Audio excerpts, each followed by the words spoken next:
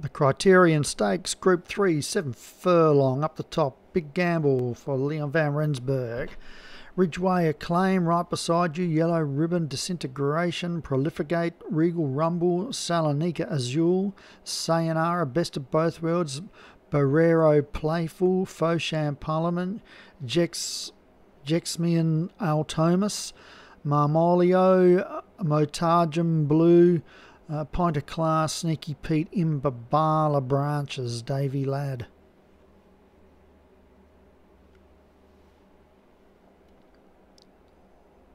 They're off. Good line.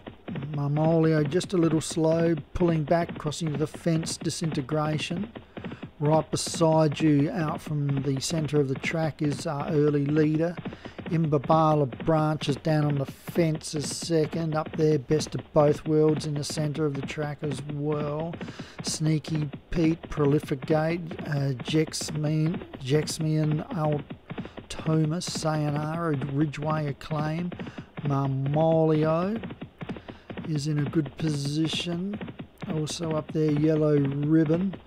Sayonara, Faucham Parliament, Barrero, Playful, Pint Class, Mortage, more charge and blue and disintegration at the three furlong pole. And right beside you leads from yellow ribbon uh, also pushing up there is Big Gamble, Ridgeway Acclaim, Jexmian, Altomus at the two furlong.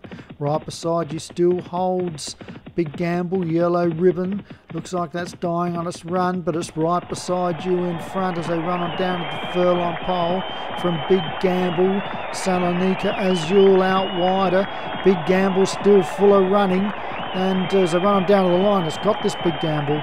And Big Gamble eases up and wins from Jex Whitmian Altomus uh, Salonika. Uh, whereas Azul ran third.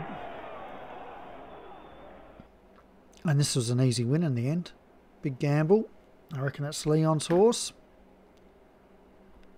66 to 1. Right, beside you, stuck on nicely, and Leon's got it. Congratulations. Second uh, Altomus for Davy Ladd. Third, Salonika Azul for Steve Ran. Fourth was right beside you, Hems. That was a good run. And fifth was Disintegration. As another Leon's, another horse of Leon's. Then we had Ridgeway Acclaim. Molio come from a long way back. Sayonara.